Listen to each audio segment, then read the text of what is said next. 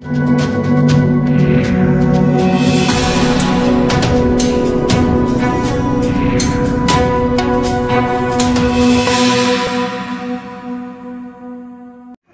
भारतीय ब्राह्मण सभा के पूर्व राष्ट्रीय अध्यक्ष और बुद्ध विहार के संस्थापक पंडित मदन लाल शर्मा की 22वीं पुण्यतिथि पर श्रद्धांजलि सभा का आयोजन किया गया। कार्यक्रम का आयोजन रोहिणी सेक्टर तीन स्थित युवा शक्ति मंडल स्कूल में किया गया।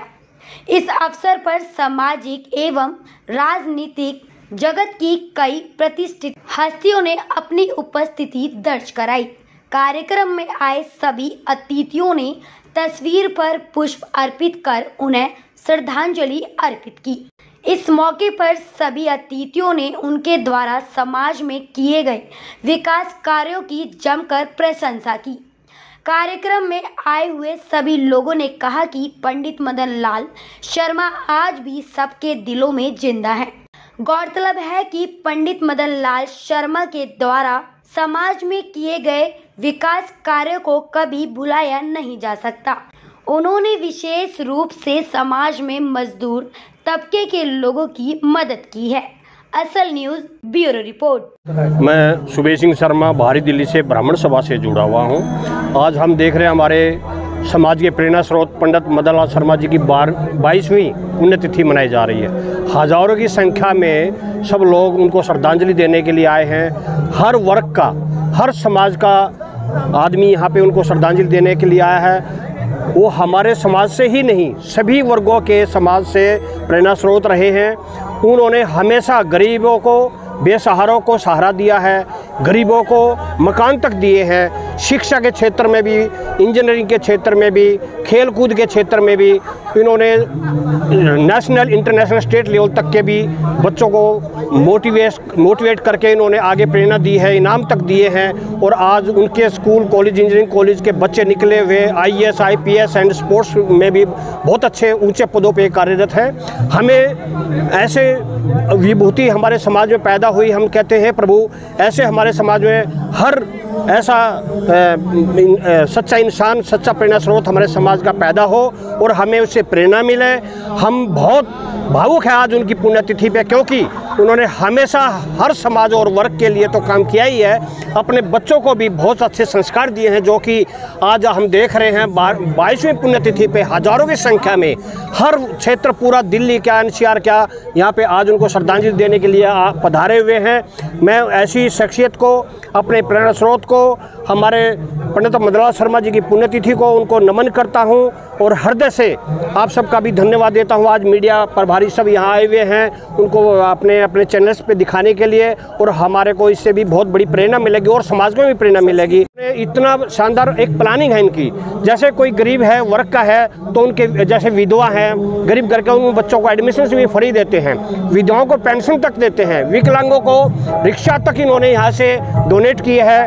और गरीब बच्चों को जैसे कोई फ़ीस नहीं दे सकता, किताब नहीं दे उनको फ्री एजुकेशन अपने कॉलेज के स्कूल में दे रहे हैं। और एक प्लानिंग है, एक एजेंडे के तहत काम कर रहे हैं। ये नहीं है कि खाली एक धन कमाना धन कमाना इनका विषय नहीं है। इस एमएलएस परिवार ने बहुत बड़ा हॉस्पिटल भी बना रखे हैं। दुनिया, रामा विहार में भी गरीब बच्चों के लिए स्कूल खोल रखे हैं। वहाँ पर टोटली बच्चे फ्री ऑफ़ एजुकेशन लेते हैं, टेक्निकल एजुकेशन लेते हैं। और बच्चों को 26 जनवरी पर भी परेड में देखा कि उन्होंने इस स्कूल का इतना शानदार परफॉर्मेंस रहा। छब्बीस जनवरी परेड में भी उनको नेशनल अवार्ड से नवाजा गया है। और यहाँ की मैनेजमेंट क्या, पूरा एम परिवार क्या, पूरा समर्पित है। ऐसे समाज में, देश में बहुत कम लोग ऐसे मिलते हैं, ऐसे परिवार मिलते हैं जो कि समाज की चिंता करते हैं। सब अपना अपना धन विभाजन करते हैं, लेकिन हमें बहुत शानदार और इससे हमें प्रेरणा मिलती है। जय भारत, जय हिंद। जय पंडित मदनलाल शर्मा। हमारे श्रद्धे बाबू जी पंडित मदनलाल शर्मा जी, जिन्होंने युवा शक्ति मॉडल स्कूल ब्रह्म शक्ति ट्रस्ट, जिसमें हॉस्पिटल, बुद्ध विहार और रामा विहार कॉलोनियों की स्थापना की, समाज सेवा की उन्होंने ऐसी ऐसे स्तंभ, ऐसी ऐसी संस्थाएँ खड़ी की, जिससे लोग उनको याद करते हैं। युवा शक्ति की स्थापना सन 1980 में हुई थी, जिसमें हज़ारों छात्र यहाँ से पढ़ करके, निकल करके पूरे देश की सेवा कर रहे हैं। और ये बाईसवीं पुण्यतिथि मनाई जा रही है इस वर्ष। दो वर्ष कोरोना महामारी के कारण उनकी पुण्यतिथि नहीं मनी थी, इसलिए लोगों में बड़ा उत्साह है। अभी संस्था ने ये निर्णय किया है कि जो 25वीं anniversary death anniversary Babu ji की पुण्यतिथि मनाई जाएगी, उसके अंदर एक शाम पंडित मदन लाल शर्मा जी के नाम, जो कार्यक्रम शाम को प्रारंभ होगा और उनके साथ जिन जिन लोगों ने काम किया है जो उनसे जुड़े रहे जिन्होंने उनका सहयोग किया उन लोगों को हम सम्मानित करेंगे। ये हमने 25वीं एनिवर्सरी पर डेथ एनिवर्सरी पर कार्यक्रम की घोषणा करने जा रहे हैं इस वर्ष। धन्यवाद। सर संस्थाओं द्वारा किस किस प्रकार के सामाजिक कार्य किए जाते हैं? जैसे स्कूल है छात्रों को शिक्षा हॉस्पिटल है लोगों की सेवा बीमारी में उनको निम्न रेट पर जो बीमार हैं और पैसा नहीं खर्च सकते तो संस्था द्वारा उनका मुफ़्त इलाज किया जाता है। ये सेवाएँ समाज के लिए की जाती हैं। आगे भी अगर ट्रस्ट की ज़रूरत किसी को पड़ेगी तो किस किस सेवाओं का लोग फ़ायदा उठा सकते हैं? देखिए ट्रस्ट हमेशा शिक्षा के क्षेत्र में हमने कम से कम नहीं तो सैकड़ों छात्र जो फ़ीस नहीं दे सकते थे वैसे तो ई चल ही रहा है लेकिन उसके बाद भी हायर एजुकेशन के अंदर जो फ़ीस नहीं दे सकते उसकी फे फ़ीस जो है संस्था देती है। एक भगवान परशुराम कॉलेज जो है दिल्ली के अंदर आपने रोहनी सेक्टर 17 में सुना होगा उसके अंदर भी मैं सेक्रेटरी हूँ और वहाँ भी जो बच्चे लायक हैं लेकिन पैसे के पीछे से उनको शिक्षा नहीं मिल पाती तो उसमें संस्था उनको धन से सहयोग करती है। मतलब भी शिक्षा से अभावित नहीं होगा। हाँ धन की वजह से कोई लायक बच्चा धन की वजह से कोई लायक बच्चा जो हमें पता है ये पढ़ करके देश में सेवा देगा उसको हम धन की वजह से कभी पीछे नहीं हटने देंगे।